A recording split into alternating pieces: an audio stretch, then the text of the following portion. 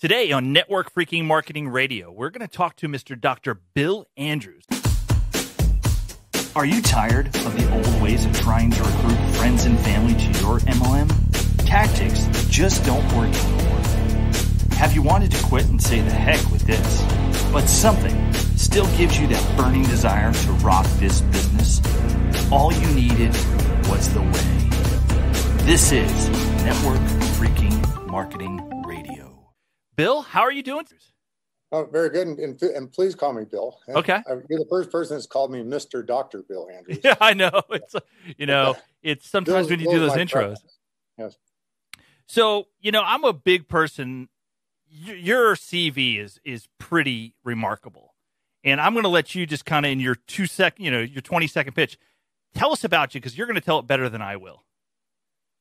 Well, I, I don't like calling it a pitch first because I'm not trying to market anything, but it's uh, uh, my I've just been obsessed my entire life with trying to find a way to cure aging. I think aging is involved in every disease we've ever heard of uh, in one way or another. Um, at least the likelihood of, of getting the diseases increases with age.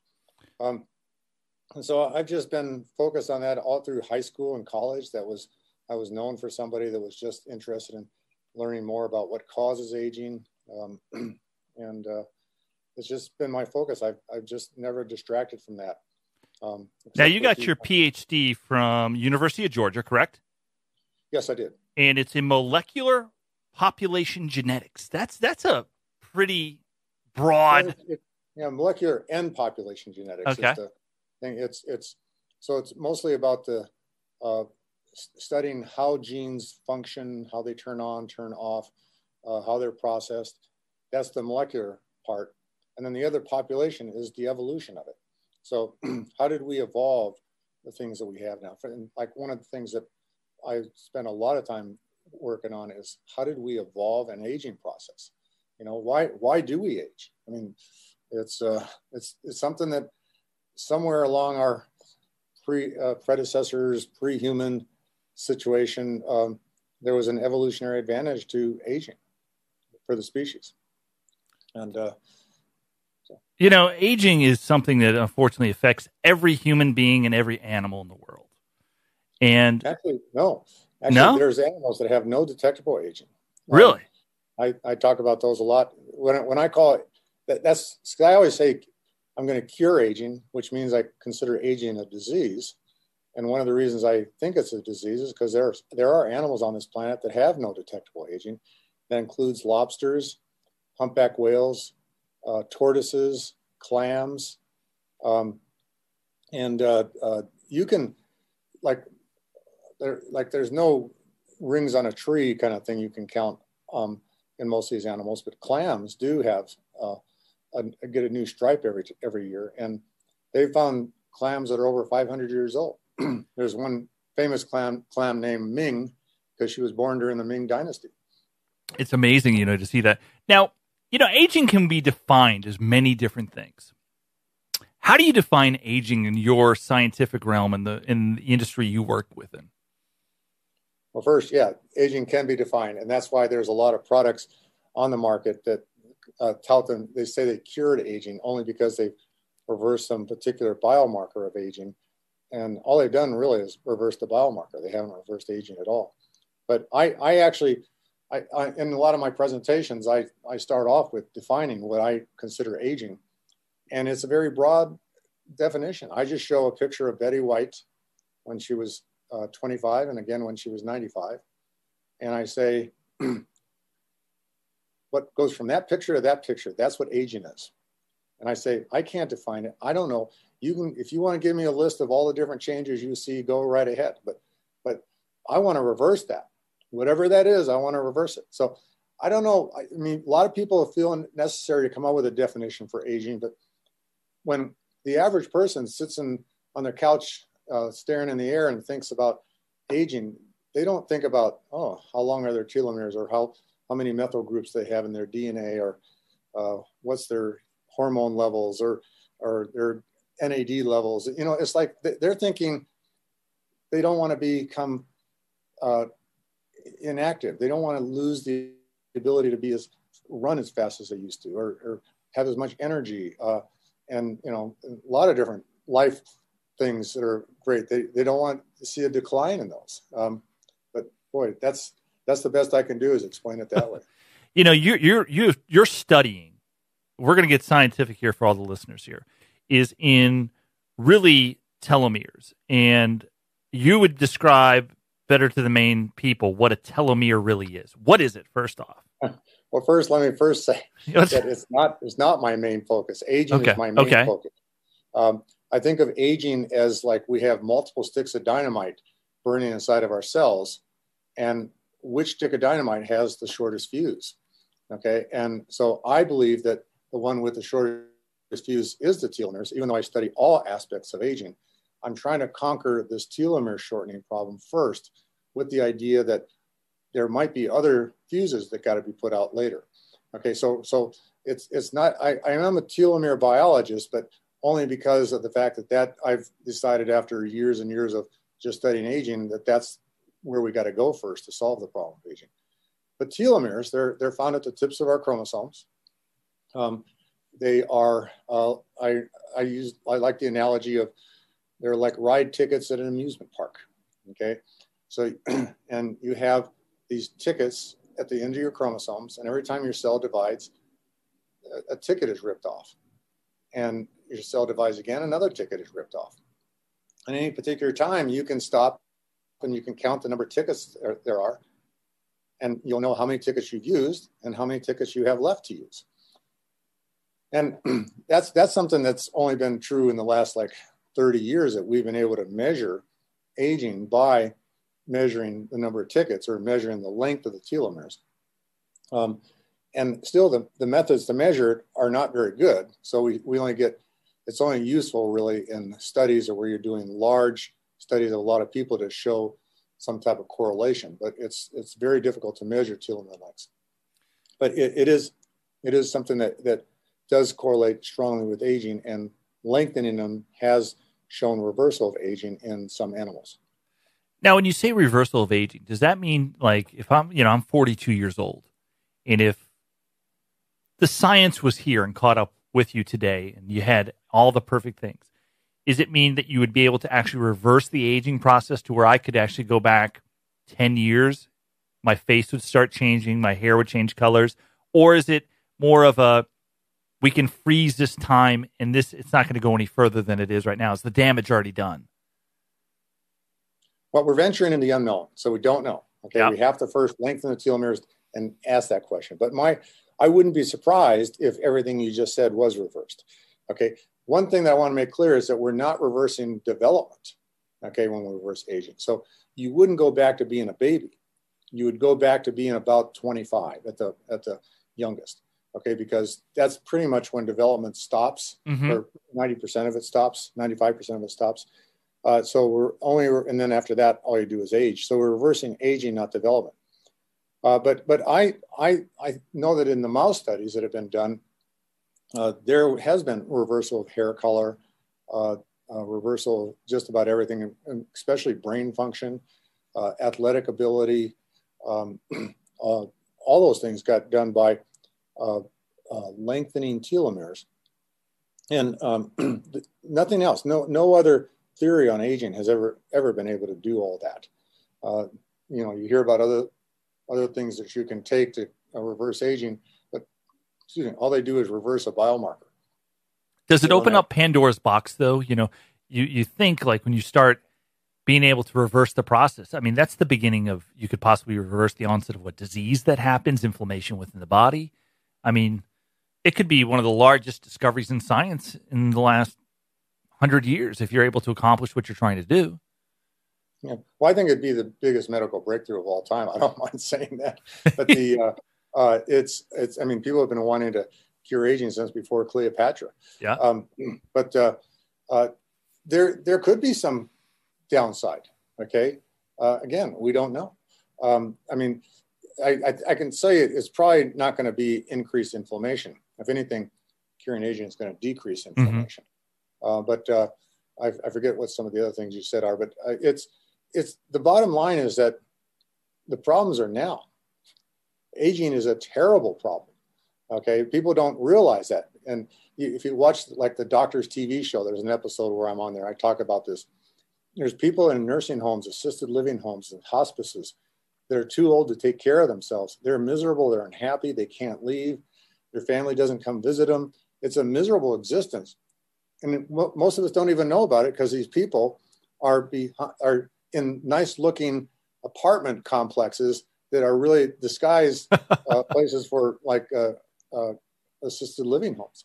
Um, so we don't know about it, but that's what we got to get rid of now. And, and let's say 200 years from now, after we've had aging cured for 190 years, I'll say, uh, it's people aren't going to say ban the cure for aging. Yeah. Okay. Because nobody's going to want to go back to where we, what we have now. Um, there, but there will be problems. There, there's going to be overpopulation problems. There's going to be how will the how would the young ever get jobs if the old don't retire problems. Uh, in lots of in, in Social Security, how will we support Social Security? I mean, when you're thinking on that level, that's that's going way beyond where. But it's amazing yeah. to where you you really got to kind of think that whole broad picture.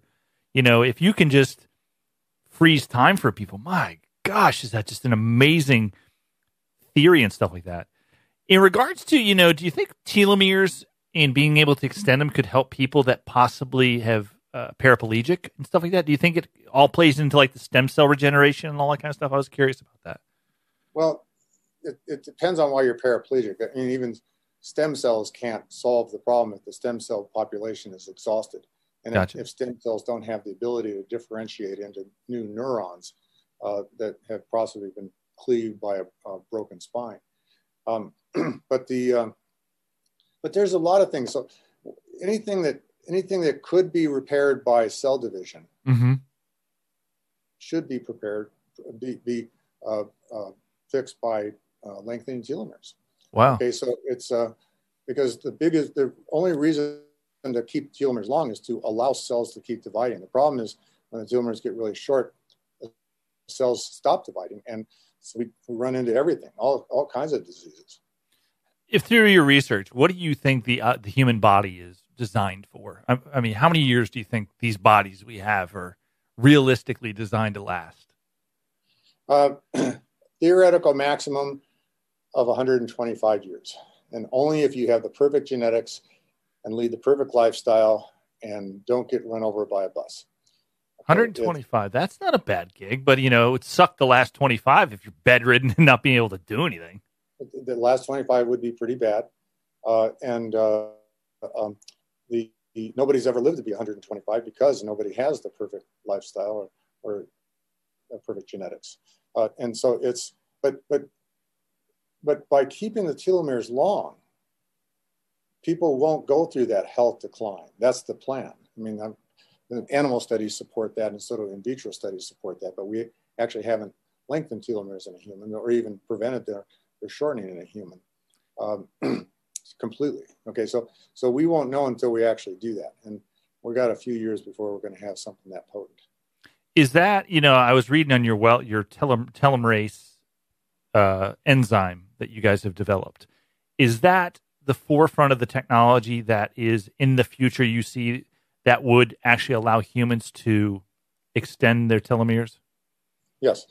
Uh, there's two ways to lengthen telomeres. One is using the enzyme telomerase, the other is called the ALT pathway, which is alternative lengthening of telomeres. It's a, but that's the ALT, ALT pathway is more of a mutation kind of driven process that, that occurs a lot often in cancers. Um, we don't want to induce the ALT pathway because that would require uh, mutations possibly. Um, but the, the telomerase method is, is seems like the most feasible anyway. It's, it's, we already have this gene for telomerase, and for some evolutionary reason, we shut that gene off well before we were born. What age okay. do you think it's shut off at, or have you, has the science shown to? Okay, actually, okay. So getting deep into the science, it's actually shut off before you even conceived.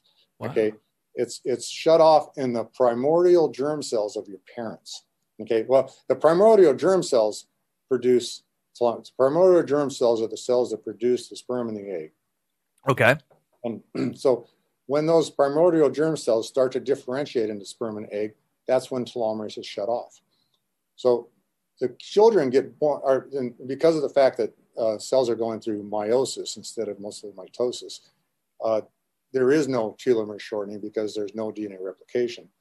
So as a result, the, the sperm and the egg will have telomeres just as long as the primordial germ cells. So then the, the sperm fertilizes the egg, the cells start to divide, and that's when you start having telomere shortening. Somewhere around like a blastocyst stage or something like that, eight cell stage, uh, eight or 16 cell stage, one of the cells will start to produce telomerase, and that cell becomes your primordial germ cells. So, but it doesn't it doesn't become any part of you except for your primordial germ cells. So, people that suffer from short telomere diseases actually have the disease because their parents had the mutation. What are some diseases that would be?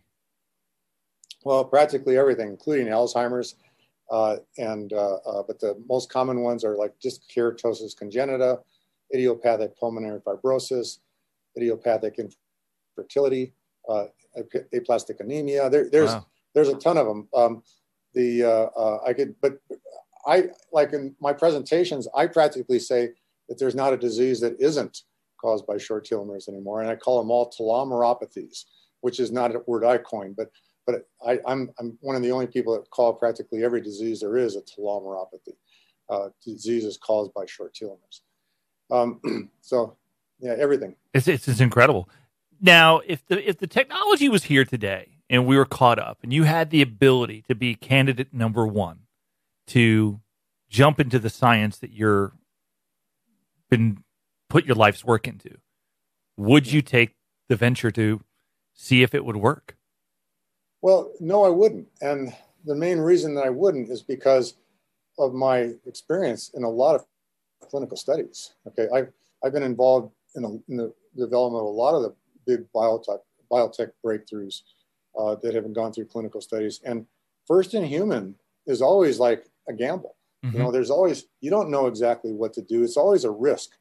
So I always say, so, and in fact, if you listen to even even this, I mentioned I was on the doctor's TV show. I talked about the risks of being in a first in human study.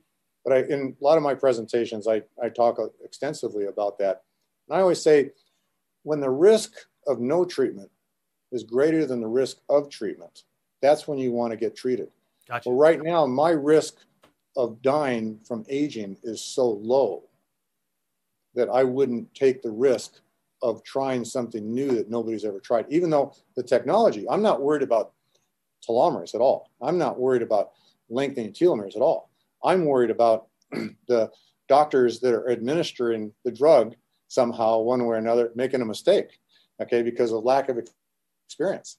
Um, and that's, I, have seen that happen a lot in studies. I, I the word oops comes up. Well, I mean, lot. it's pioneering science. It's a part of, you know, so many people forget that what it takes to bring a drug or you know a cure to something to market. What's your take? You know, just a flip side. What's your take on the mRNA vac right now that's out there from Pfizer and all these big guys? Do you think?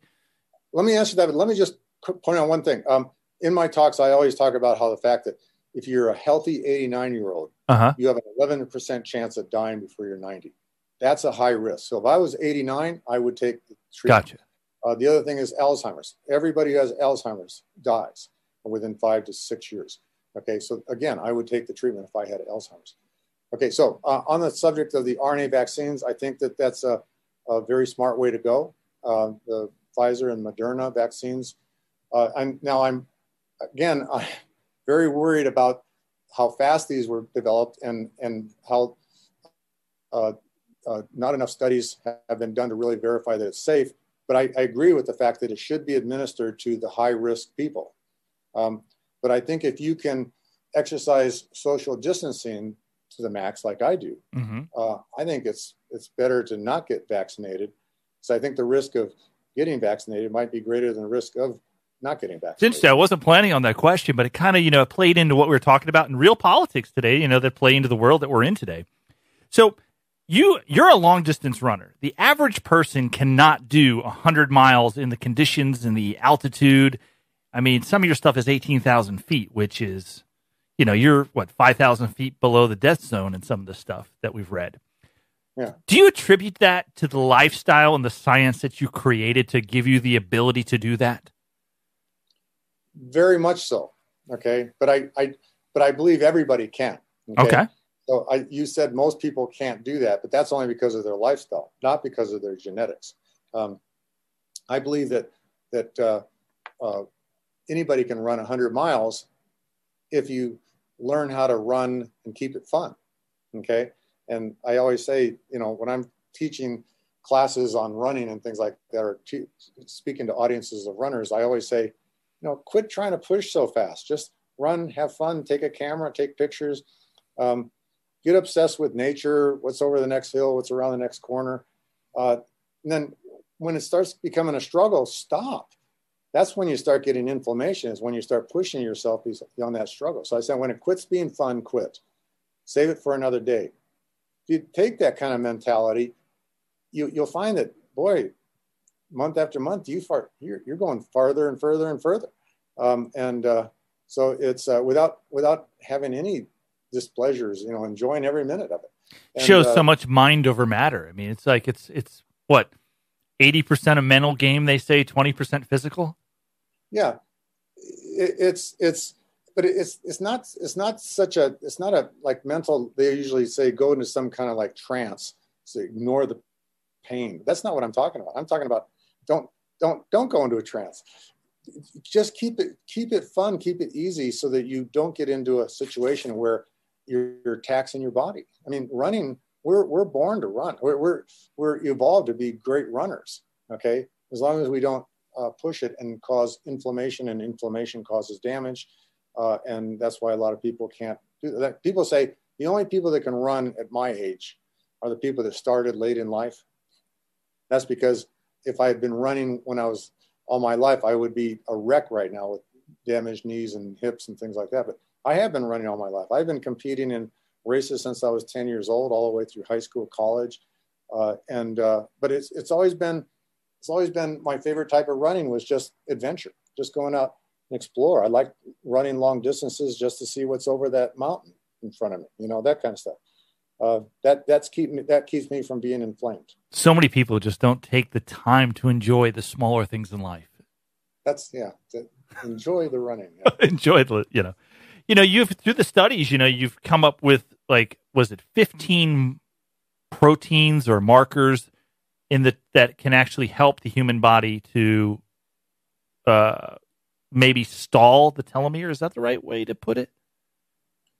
Um, the way I understand, I'm trying to understand what I was reading. So yeah, I don't know. I'm I'm not certain what you're referring to, uh, but we have we have uh, I would say over a thousand different things that affect telomere lengths. Um, and they range from all kinds of ways from things that protect telomeres from damage to things that lengthen telomeres.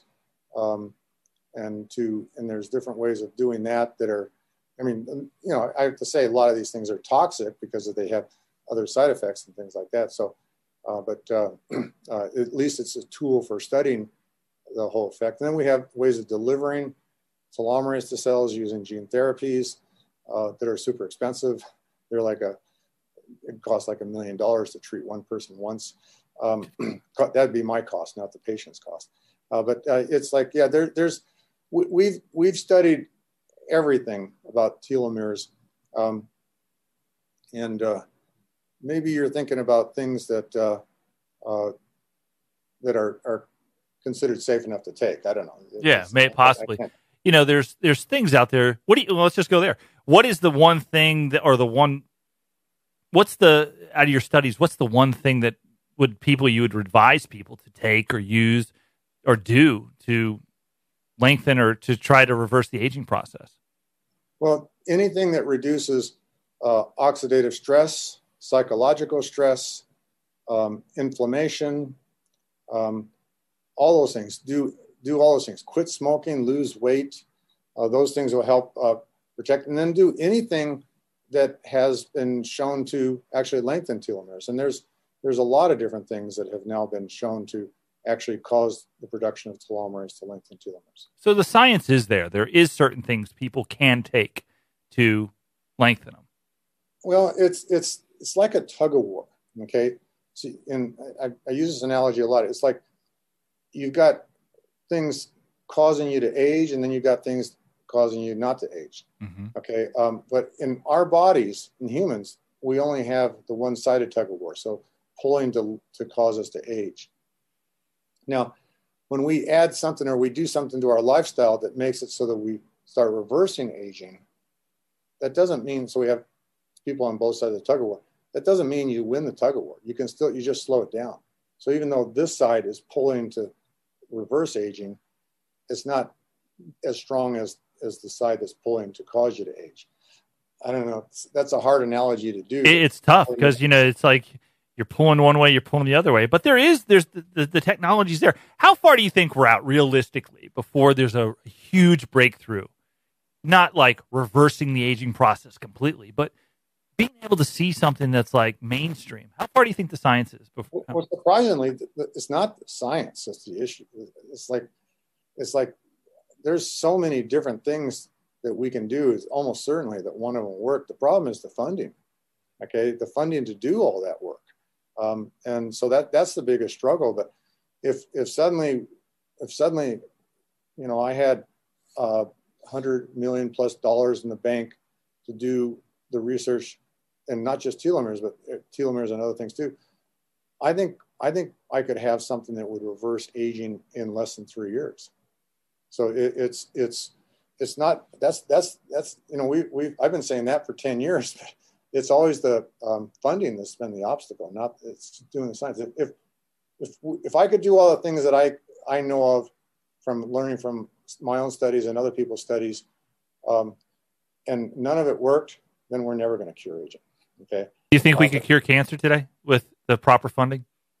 I, I yeah, absolutely. I think I and and proper guidance too. Um, the biggest problem is that uh, most of the cancer researchers are focused more on getting publications than they are on curing cancer. And that's the big problem with the publish or perish uh, phenomena that exists in the academic environment.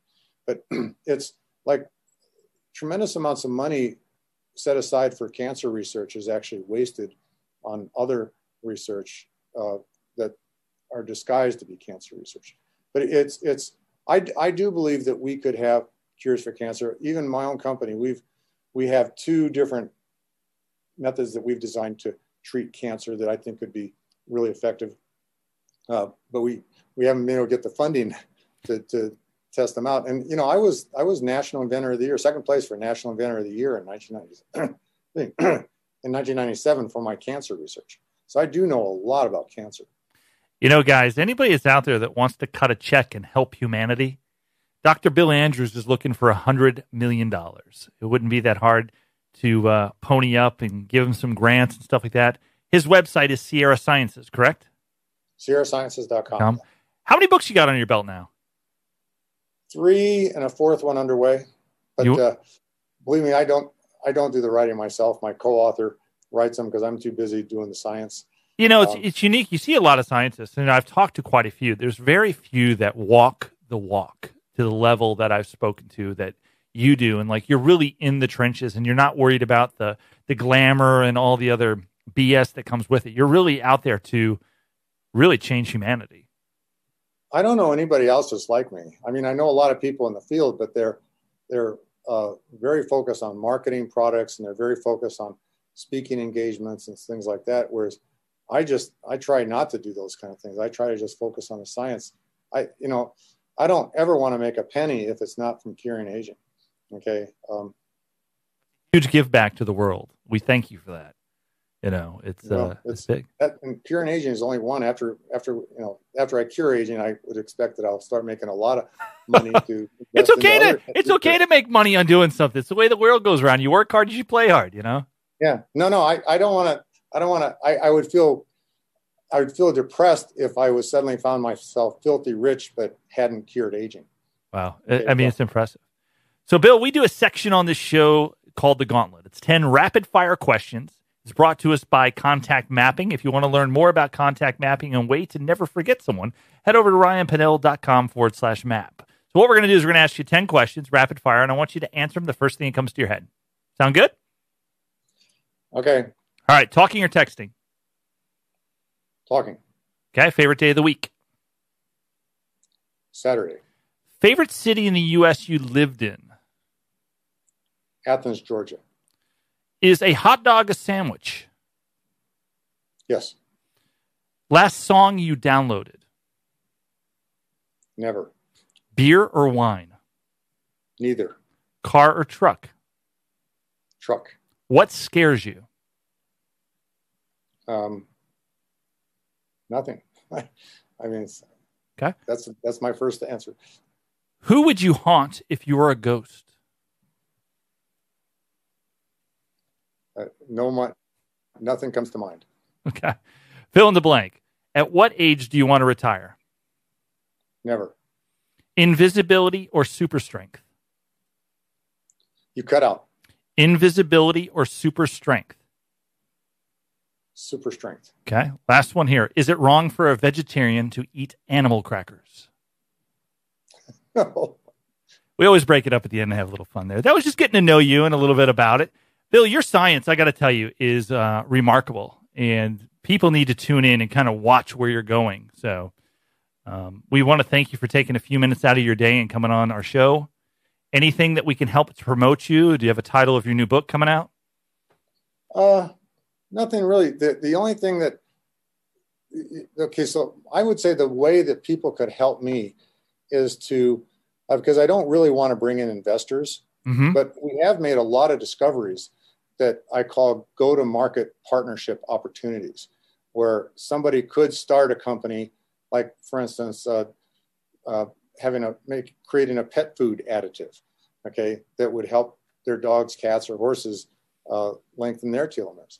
Um, and you know, we have these things like like right in this wall behind me. On the other side is a lab, okay, and I've got ten thousand square foot of labs here but a lot of it is sitting with things on the shelves that are just could be great products. Now, I've I've put together a go-to-market partnership opportunity plan where if if somebody wanted to take one of these things and put them on the market, uh, I'd let them do it. All I want is 10% gross profits in, in return to fund our research, um, because our that's most of our funding comes from product sales, from things that we've discovered or at least we've advised on, and uh, uh, uh, that funds all, all, of our research so that I don't have to rely on investors. And so we've got like I think 20 different things that I've listed in a go-to-market partnership plan that's actually on my website. If people go to my website and find go-to-market partners, um, they can click on that and they can see a document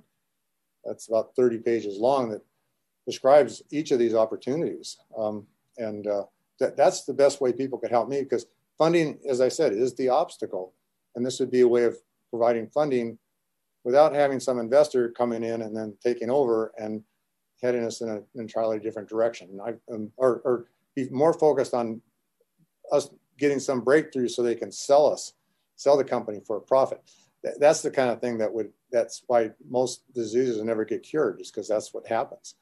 I'm trying to prevent animals, they say the money animal.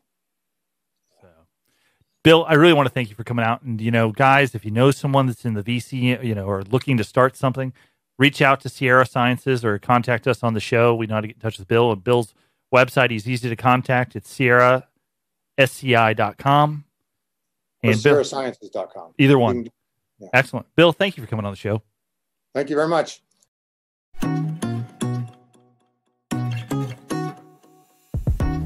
Guys, it's Ryan here from Network Freaking Marketing Radio. If you like what we're doing, head over to iTunes and give us a like.